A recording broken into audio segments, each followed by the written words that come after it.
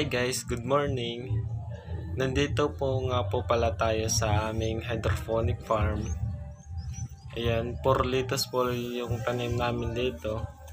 As you can see. Ayan, maganda po yung kanyang tubo. Maganda yung roots.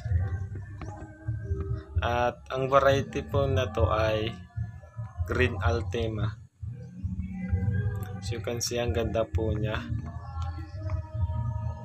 This is ready to harvest na po and 28 days after transplant. And this is also a low cost hydroponics. Tingnan nyo naman po. Yung pinagpatungan po namin ay kawayan at saka yung box namin pinagdugtong-dugtong na mga foam at yung pinag-cup namin ay yung pinagputulan ng bottle ng mismo. Ayan po.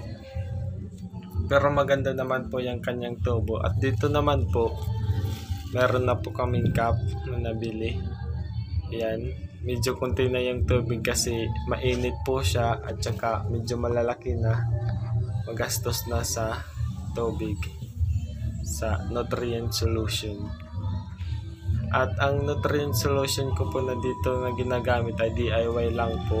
Medyo maganda naman kanyang tubo kaya ayun medyo okay na siguro yung DIY nozzle namin.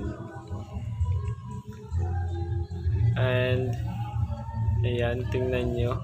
Ito naman po ay trial ko po sa bottle na 1.5 medyo may problema lang siya kasi nagkaroon ng algae sa kanyang ugat at pati yung kanyang tubig. Dapat siguro pinturahan ng puti yung bottle. Ito, tingnan nyo. Ang ganda niya po at ang laki. Malaki po siya. 28 days after transplant. Ayan. Ang ganda po niya. Maganda yung po din po yung kanyang roots.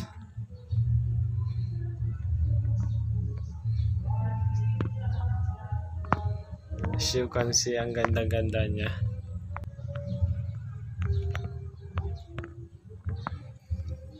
Ayun at maganda po yung kanyang tubo ngayon kasi maaraw siya. Yun pa kasi ang kailangan ng lettuce maaraw pero kailangan po hindi sobrang init na hindi magkakaroon ng tip burn ang kanyang dahon. As you can see, may mga butas po siya. Kaya agad na ubos yung tubig dito dahil na-evaporate pag mainit. Dito naman po, medyo maliliit pa siya yung mismo po ay fix na po siya. Hindi po siya medyo nakukuha dyan. O tingnan nyo. Mahirap po siya kuha. Pero maganda naman po yung kanyang tubo. Ayan yung mga ugat. Medyo lumalaki na na siya. At medyo maganda na rin ng kanyang dahon. And ayun po. Ready to harvest na po to. Salamat po sa panonood. Thank